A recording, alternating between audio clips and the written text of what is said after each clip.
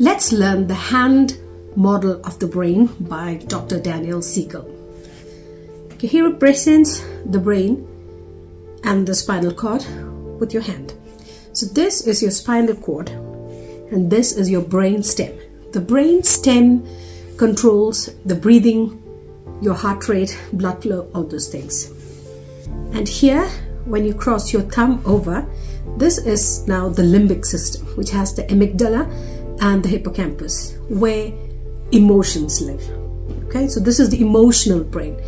And the emotional brain is very strong, very fast, but not very accurate. Okay, and then when you fold your four fingers over, this now is your cortex. And this is the higher brain, which is a seat of reasoning, thinking, problem solving, morals, empathy, etc. And what happens is generally all of them, all these different parts work in harmony.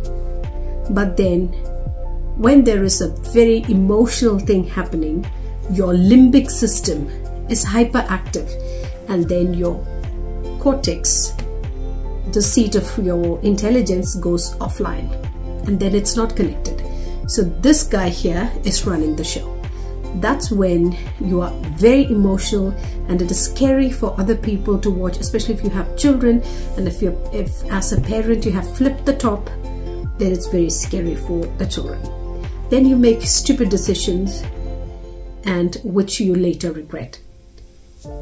So what you need to do is bring your higher self, your higher brain back online and make decisions and do actions from there.